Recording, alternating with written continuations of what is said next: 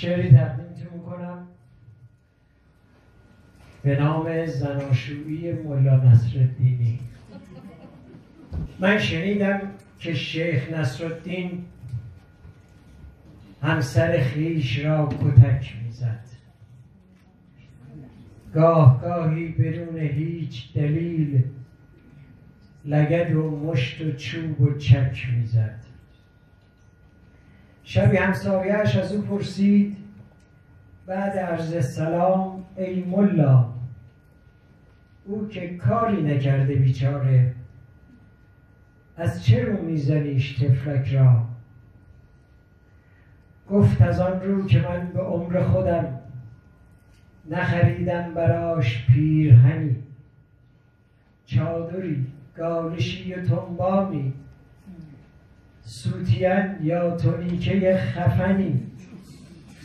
نه ولنتاین کادویی دادم نه تولد نه روز زن. ابدا.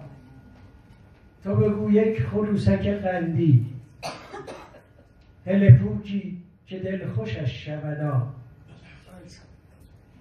خرجی خانه هم چه ارز کنم؟ نه ما نرزن آشمان بلگور آقالیلی و میوه هم مرخص. ماهی و مرغ و گوشت هم یختور پیری و آنچه که نباید گفت رسم شبهای جمعه هم تعطیل. خودمانیم در جوانی هم کمرم خورده بود دسته بیل. مثل خر کار می‌کند بدبخت نه زیارت نه گردش و سفری. بچه هم که اجاقمان کور است تا سرش گرم دختر و پسری. من که از پیزی زناشویی هیچ کاری نیاید از دستم می‌زنم تا که یاد او باشد من در این خانه شوهرش هستم. دوستان قصه ای که هارو گفت یادم انداخت در زمان قدیم کشوری بود ناکجا آباد. حاکمی داشت عاشق تحریم. مملکت بلبشو و هر دنبیل. سمبل فقر بود و ویرانی. هر که مشغول کوک ساز خودش هر کی هر کی حسین گلی خانی. وضع بهداشت را نگو و نپرس. وضع آموزشش از آن بدتر. اقتصادش بدون برنامه. بی حساب و کتاب و خرتوخر موتور اقتصاد کشور او افتاده به پت پت و فس فس. دزدی و اختلاس معمولی. بانک ها ورشکسته و مفلس. سهم مردم فقط گرانی بود. نرخ ها ساعتی ورم می کرد او به جای بنای کشور خود پول را راهی حرم می کرد آن طرف گند رشوه. اه اه اه این طرف اعتیاد. اوه اوه اوه. هر مدیری که پشت میزی بود غوطه‌ور در فساد. اوه اوه اوه. با تمام جهان به جنگ و ستیز. عاشق اختراع موشک بود. لیک با این چنین توانایی فاقد کارخانه پوشک بود. مانده هر چهار دست و پا در گل موقع سیل زلزله بحران جای تدبیر و چاره اندیشی تربت کربلا بلاگردان واجه های رفاه و آسایش معنیش سگ دوی پی نان بود. عزم سازندگی نبود ولی مرگ بر این و مرگ بر آن بود. با چنین وضع مملکت داری هر کسی معترض به زیر کتک. نقد جرم اعتراض جاسوسی. هر کسی بد هجاب چوب و فلک. جای خدمت گذاری مردم.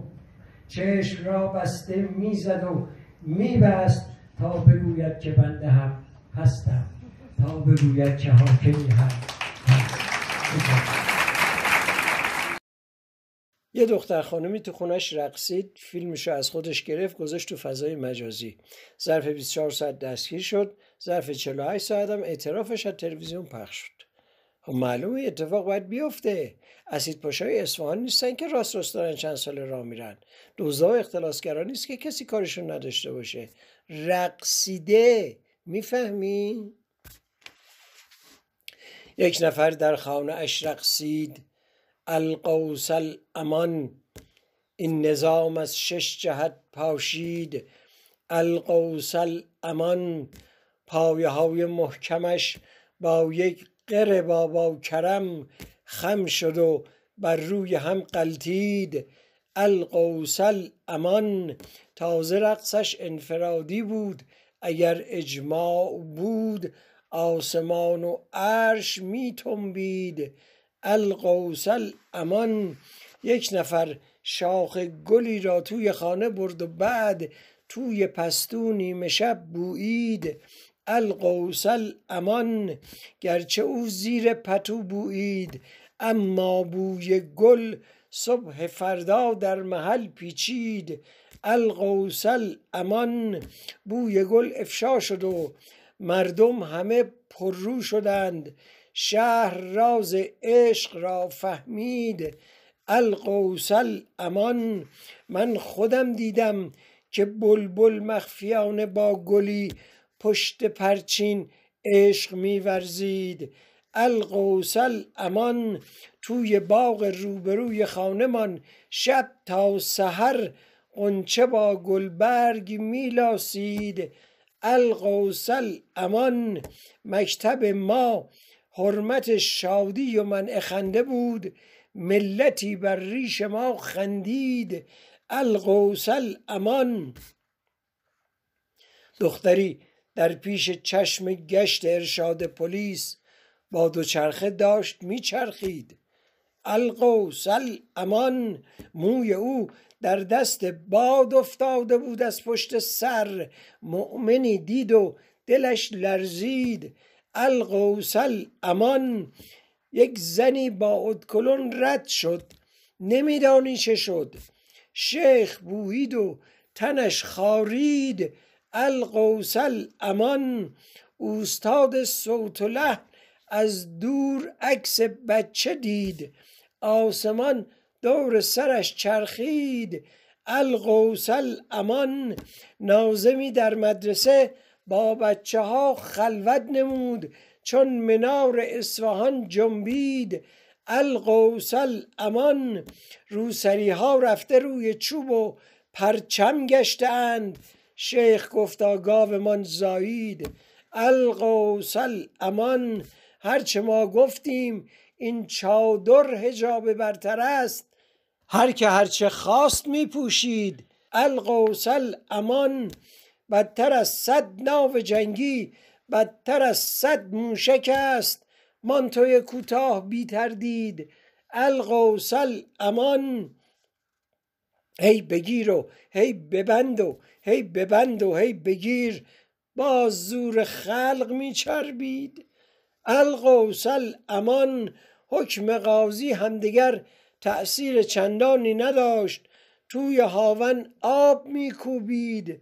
القوس الامان باز سوژه دست حالو داده ایم و باز هم او به ما و کار ما شا نه شارم. شعرید القوس الامان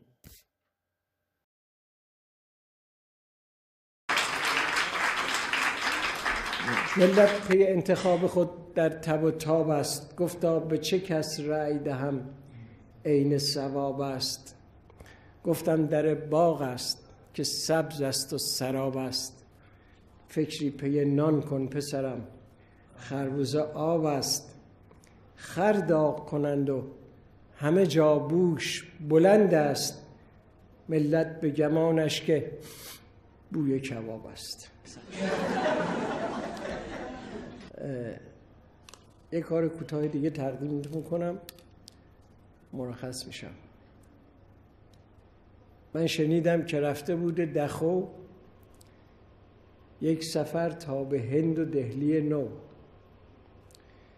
دید جمعی کثیر گاو پرست. گفت عجب واقعا که مسخره است. در زمانی که دوره اتم است فهم این خلق زیر دیپلم است. هندوی گفت آی ایرانی تو از آداب ما چه میدانی؟ گاو اگر چه مقدس است اینجا؟ گوشتش را نمی‌خوریم ابدا. بول او را به روی میمالیم به چنین اعتقاد میبالیم. لیک هرگز ندیده هیچ احد اینکه هندو به گاو رای دهد. خیلی